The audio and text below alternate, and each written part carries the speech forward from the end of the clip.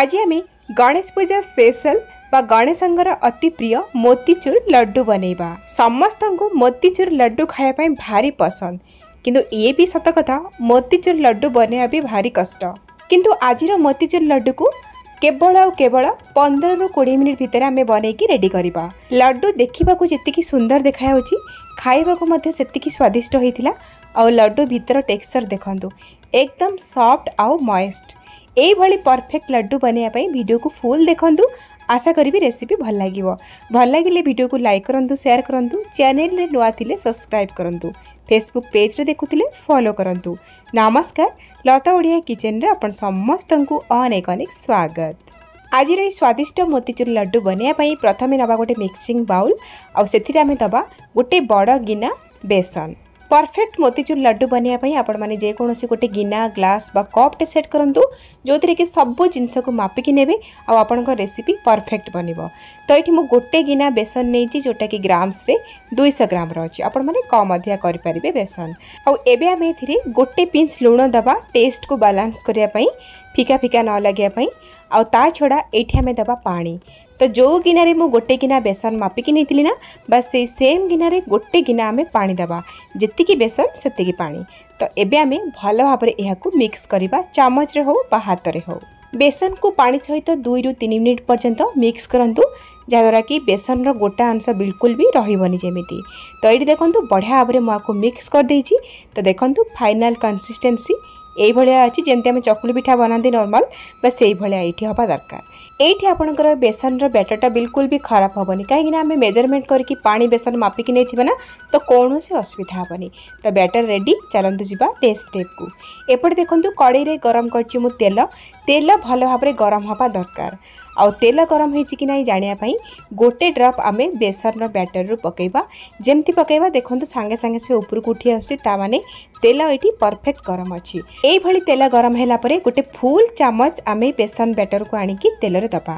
ତ ଗୋଟେ ଜାଗାରେ ବ୍ୟାଟରକୁ ଢାଳିବେନି ଚାରିଆଡ଼େ ଖେଳେଇକି ଆପଣ ପକାଇବେ ସେ ଆରାମସେ ଏଇଭଳି ଲମ୍ବା ଲମ୍ବା ହେଇକି ପଡ଼ିବ ଯେମିତି ଆପଣ ଏଠି ଭିଡ଼ିଓରେ ଦେଖୁଥିବେ ତ ଟିକେ ସେଟ୍ ହେଇଗଲା ପରେ ବା ଟିକେ ଭାଜି ହେଇଗଲା ପରେ ତଳ ସାଇଡ଼୍ଟା ଆପଣମାନେ ଓଲଟେଇ ଦେବେ ଆଉ ଗ୍ୟାସ୍ର ଫ୍ଲେମ୍କୁ ମିଡ଼ିୟମ୍ ଟୁ ହାଇରେ ରଖିକି ଆକୁ ଟିକେ କ୍ରିସ୍ପି ହେଲା ପର୍ଯ୍ୟନ୍ତ ଛାଣି ନେବା ବା ଫ୍ରାଏ କରିନେବା ये आमको कौन सी सैज दरकार नहीं पकुड़ी ଯେମିତି ଆପଣଙ୍କୁ ଆସିଲା ତେଢ଼ା ମେଢ଼ା କରିକି ପକାଇବେ କିନ୍ତୁ ମୋଟା କରିକି ଗୋଟେ ଜାଗାରେ ଗଦେଇକି ପକାଇବେନି ଏତିକି ଧ୍ୟାନ ରଖିବେ ତ ଦେଖନ୍ତୁ ଏଇଟା ଫ୍ରାଏ ହୋଇଗଲା ବାସ୍ ଏବେ ଆମେ କ'ଣ କରିବା ଆକୁ ଗୋଟେ ଜାଲିକୁ ଛାଣି ନେବା ତ ଏଇଭଳି ଭାବରେ ଆମେ ଏଠି ଯେତେ ବ୍ୟାଟର୍ ବନେଇଛେ ନା ସବୁକୁ ଛାଣି ନେବା ଆପଣମାନେ ଏଇ ପକୁଡ଼ିକୁ ଗୋଲ୍ଡେନ୍ କରିକି ଛାଣିବା ଦରକାର ନାହିଁ ବାକି କ୍ରିସ୍ପି ହେବା ଦରକାର ଆଉ ମୋଟା କରିକି ପକାଇବେନି ଗୋଟେ ଜାଗାରେ ଗଦେଇକି ସେମିତି କଲେ କ'ଣ ହେବ ପକୁଡ଼ିଟା ସଫ୍ଟ ହୋଇଯିବ କ୍ରିସ୍ପି ହେବନି ଆପଣ ଇଆଡ଼େ ସିଆଡ଼େ କରିକି ପକାଇବେ ତାକି ପତଳାରେ ବନିବ ଆଉ କ୍ରିସ୍ପି ବନିବ ତଳେ ଦେଖନ୍ତୁ ସବୁଗୁଡ଼ାକ ସେଇ ପ୍ରୋସେସ୍ରେ ମୁଁ ଛାଣି ନେଇଛି ଆଉ ଦେଖନ୍ତୁ ଭାଙ୍ଗିଲା ମାତ୍ରେ ଭାଙ୍ଗି ହେଇଯାଉଛି ଦେଖନ୍ତୁ କେତେ କ୍ରିସ୍ପି ହେଇଛି ଏଥିରୁ ଆପଣ ଜାଣିପାରୁଥିବେ ବାସ୍ ଏବେ କ'ଣ କରିବା ପକୁଡ଼ି ଗୁଡ଼ାକ ଟିକେ ଥଣ୍ଡା ହେଇଗଲା ପରେ ହାତରେ ଛୋଟ ଛୋଟ ଖଣ୍ଡ କରିକି ଆମେ ଭାଙ୍ଗି ନେବା ଭାଙ୍ଗି ସାରିଲା ପରେ ନେବା ଗୋଟେ ମିକ୍ସିଂ ଜାର୍ ଆଉ ଏଇ ଯେଉଁ ପକୁଡ଼ି ଖଣ୍ଡ ଗୁଡ଼ାକୁ ଅଳ୍ପ ଅଳ୍ପ ଦେଇକି ଆମେ ଗ୍ରାଇଣ୍ଡ କରିନେବା ପକୁଡ଼ି ଗ୍ରାଇଣ୍ଡ କରିବା ପାଇଁ ପାଣିର ବ୍ୟବହାର କରିବେନି ଏଇଭଳି ଶୁଖିଲା ହିଁ ଗ୍ରାଇଣ୍ଡ କରିବା ଆଉ ପଲ୍ସ ମୋଡ଼୍ରେ ବା ରହି ରହିକା କିଛି ସେକେଣ୍ଡ ଆମେ ଗ୍ରାଇଣ୍ଡ କରିବା ଆକୁ ଆମେ ପାଉଡ଼ର ପୁରା କରିଦେବାନି ଦରଦରା କରିକି ଆମେ ଗ୍ରାଇଣ୍ଡ କରିବା ଯେମିତିକି ଆପଣ ହାତରେ ଯେତେବେଳେ ଧରିବେ ଆପଣଙ୍କ ହାତକୁ ଟିକେ ଦରଦର ଖଣ୍ଡ ଭଳି ଲାଗୁଥିବ ମାନେ ଦାନା ଦାନା ଟେକ୍ସଚର ଲାଗୁଥିବ ବାସ୍ ସେଇଭଳିଆ ରହିବା ଦରକାର ଯେମିତି ଲାଗିବ ଯେ ଆମେ ବୁନ୍ଦିର ଲଡ଼ୁ ବନାଉଛେ ଅଧିକ ପାଉଡ଼ର କରିବେନି ଧ୍ୟାନ ରଖିବେ ତ ଏଇଭଳି ଭାବରେ ଆମେ ସବୁ ପକୁଡ଼ି ଖଣ୍ଡ ଗୁଡ଼ାକୁ ଗ୍ରାଇଣ୍ଡ କରିନେବା ତ ଏଠି ଦେଖନ୍ତୁ ମୁଁ ଗ୍ରାଇଣ୍ଡ କରି ନେଇଛି ଏବେ ଆମର ବୁନ୍ଦି ରେଡ଼ି ହୋଇଗଲା ଆକୁ ଆମେ ସାଇଡ଼ରେ ରଖିବା ଯିବା ନେକ୍ସଟ ଷ୍ଟେପ୍କୁ ଏପଟେ ଦେଖନ୍ତୁ ଗ୍ୟାସ୍ ଉପରେ ବସେଇଛି ଗୋଟେ କଡ଼େଇ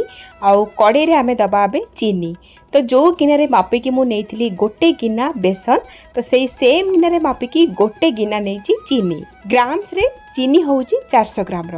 ତ ଏତିକି ଚିନି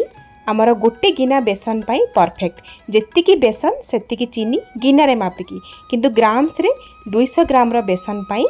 ଚାରିଶହ ଗ୍ରାମର ଏଠି ଚିନି ଆମକୁ ଲାଗିବ ମୋତେ ଲାଗୁଛି ଆପଣମାନେ ପୁରା କ୍ଲିଅରଲି ବୁଝିପାରୁଥିବେ ଭାଗମାପ କୌଣସି ବି ଡାଉଟ୍ ଆଉ ନଥିବ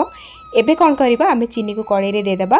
ଆଉ ଯେତିକି ଆମେ ଚିନି ନେଲେ ଯେଉଁ ଗିନାରେ ମାପିକି ଚିନି ନେଇଛନ୍ତି ବା ସେଇ ସେମ୍ ଗିନାରେ ମାପିକି ଗୋଟେ ଗିନା ନେବା ଆମେ ପାଣି ଯେତିକି ଚିନି ସେତିକି ପାଣି ତ ଏବେ ଆମେ ଗ୍ୟାସ୍କୁ ଅନ୍ କରିକି ଚିନିକୁ ପାଣି ସହିତ ଭଲ ଭାବରେ ଫୁଟେଇ ନେବା ତ ଏଇଠି ଆମେ ଯେଉଁ ଚିନି ଶିରା ବନାଉଛେ ଏକତାର ଦୁଇତାର କି ଗାଢ଼ା ଆମକୁ ଚିନି ଶିରା ଏଠି ପାଗ ଦରକାର ନାହିଁ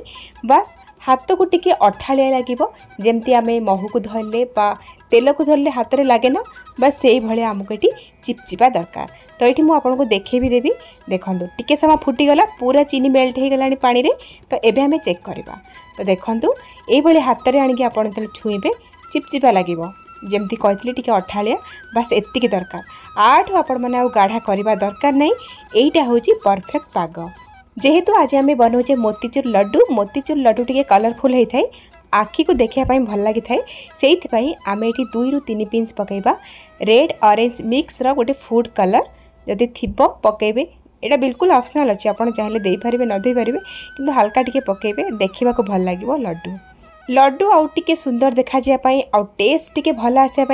এইটি আমি গোটে বড় চামচ দেওয়া চার মগজ বা মেলন সিডস ତ ଏଇଠି ଆପଣମାନେ ଚାର୍ମଗଜକୁ କଞ୍ଚା ପକାଇବେନି ଶୁଖିଲା କଡ଼େଇରେ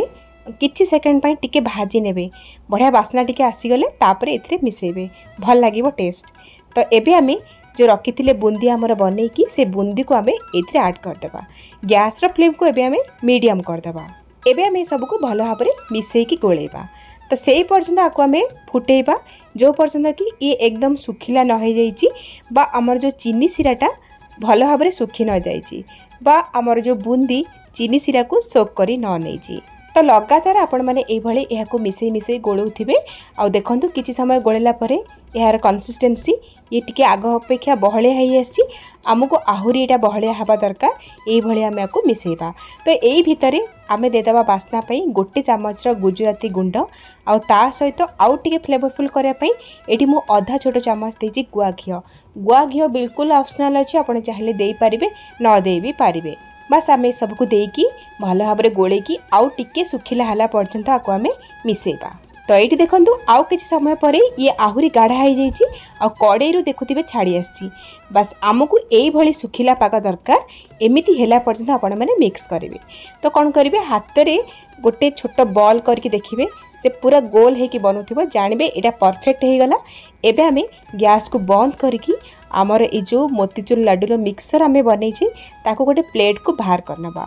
ଆଉ ଟିକେ ଖେଳେଇ ନେବା ଯାହାଦ୍ୱାରା କି ଇଏ ଥଣ୍ଡା ହେଇଯିବ ଆଉ ଆମେ ହାତରେ ଏହାକୁ ଲଡ଼ୁ ଯେମିତି ବନେଇ ପାରିବା ତ ଏଇଠି ଆମର ମୋତିଚୁର ଲଡ଼ୁର ମିକ୍ସର ଥଣ୍ଡା ହେଇଗଲାଣି ତ ହାତରେ ଛୁଇଁ ହେଉଛି ଏବେ ଆମେ ଲଡ଼ୁ ବନେଇବା ବହୁତ ସହଜ ଆପଣଙ୍କୁ ଯେମିତି ସାଇଜ୍ର ଦରକାର ଛୋଟ ବଡ଼ କରିକି ଆପଣମାନେ ଏଠି ଲଡ଼ୁ ବନେଇ ପାରିବେ ତ ଦେଖନ୍ତୁ କେତେ ସୁନ୍ଦର ଭାବରେ ଲଡ଼ୁ ଏଠି ବନିଗଲା ଆଉ କେତେ ଚିକ୍କଣ ହେଇଛି କେତେ ସୁନ୍ଦର ବି ଦେଖାହେଉଛି ଆଉ ସ୍ୱାଦିଷ୍ଟ ମଧ୍ୟ ବହୁତ ଲାଗିବ ଆପଣମାନେ ମଧ୍ୟ ଏଇ ସହଜ ଉପାୟରେ ମୋତିଚୁର ଲଡ଼ୁକୁ ବନାନ୍ତୁ ଦେଖିବେ ସମସ୍ତେ ଘରେ ପସନ୍ଦ କରିବେ ତ ଏଇଭଳି ଭାବରେ ମୁଁ ଏଠି ସବୁ ଲଡ଼ୁ ଗୁଡ଼ାକ ବନେଇ ନେବି ତ ଏଇ ଲଡ଼ୁକୁ ଆପଣମାନେ ବାହାରେ ଦୁଇ ତିନି ଦିନ ପର୍ଯ୍ୟନ୍ତ ରଖିପାରିବେ ଆଉ ଫ୍ରିଜ୍ରେ ଯେକୌଣସି ଗୋଟେ ଏୟାରଟାଇଟ୍ କଣ୍ଟେନର ଭିତରେ ଭରିକି ସାତରୁ ଆଠ ଦିନ ପର୍ଯ୍ୟନ୍ତ ରଖିକି ଖାଇପାରିବେ ଦୁଇଶହ ଗ୍ରାମ ବେସନରେ ପାଖାପାଖି ଗୋଟେ କିଲୋର ଲଡ଼ୁ ଏଠି ବନିକି ରେଡ଼ି ହୋଇଯାଇଛି ଆପଣମାନେ ନିଶ୍ଚୟ ବନାନ୍ତୁ କେମିତି ଲାଗିଲା ଆପଣଙ୍କ ଅନୁଭୂତି ମୋ ସହିତ ସେୟାର କରନ୍ତୁ ତାହେଲେ ଆଜି ପାଇଁ ରହୁଛି ପୁଣି ଆସିବି ଆଉ ଗୋଟେ ନୂଆ ରେସିପି ନେଇକି ସେଇ ପର୍ଯ୍ୟନ୍ତ पसंद रही नमस्कार बाय जय जगन्नाथ